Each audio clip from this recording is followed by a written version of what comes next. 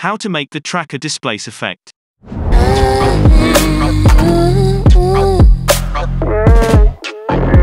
Today's video is sponsored by NASA.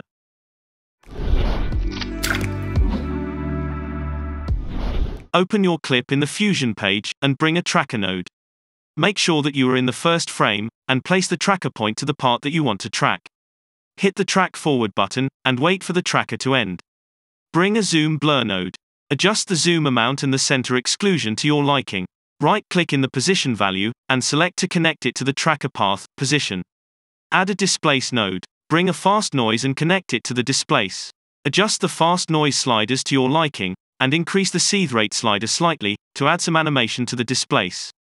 Select the displace node, increase the refraction strength to your liking and drag the spread slider.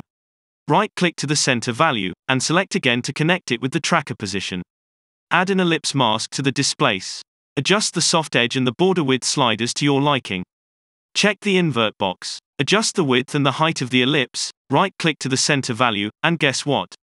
Connect it again to the tracker position. If you liked this clip, subscribe to this channel. If you didn't, I have nothing to say.